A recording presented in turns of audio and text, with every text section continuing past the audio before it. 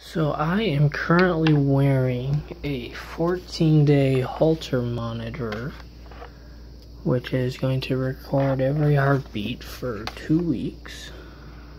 It's called a Zio patch. It's the instruction booklet.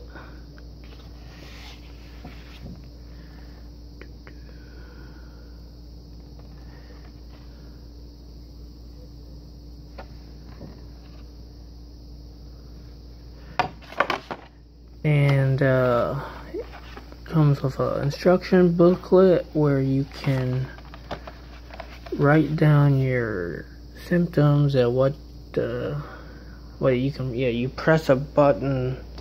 It's gonna record every heartbeat but you can press a button that will mark that spot if you felt symptoms. And you would write in here when, why, what you felt, blah blah blah. Or there's also a phone app which I downloaded so I can log it. So if I press the button, I can just open the app on my phone and type it in there so I don't have to worry about writing the stuff down.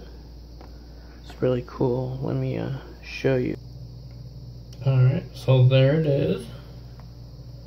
It's just stuck on my chest and there's the button in the center. I just press it I have a symptom and that's it. Pretty cool.